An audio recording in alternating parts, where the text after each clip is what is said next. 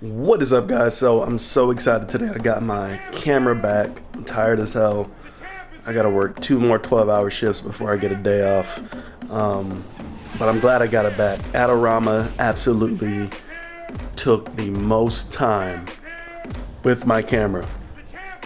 I'm gonna come out with a video to talk more about how they practice their um, their used sales department and how they basically try to stall you out so you would just say, okay, just take the damn camera and give me the money.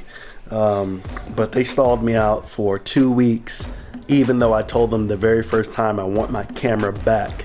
So that was very frustrating, but it looks like I got it in.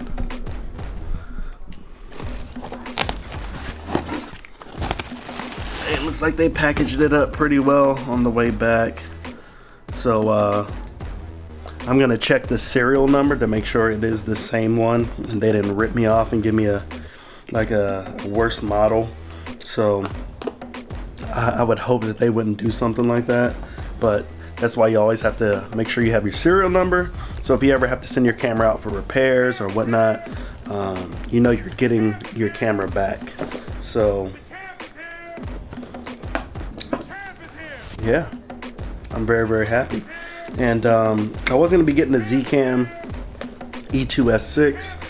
I still am. I'm, I'm, gonna. I'm thinking about whether or not I want to um, sell this or if I want to just save up the money and uh, over this year and actually give the uh, give the new models a chance to kind of work out the kinks, you know, update some firmwares and things like that nature. So when I do get it, it you know, out of the box, it's gonna be great. Um, so and plus, I love this camera. You know what I'm saying?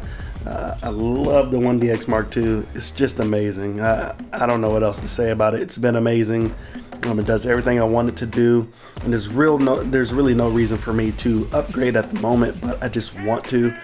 Uh, want to upgrade to the Zcam, but this thing is amazing. It's a workhorse. It does better than 90% of the cameras out there, in my opinion, um, and it has dual pixel autofocus.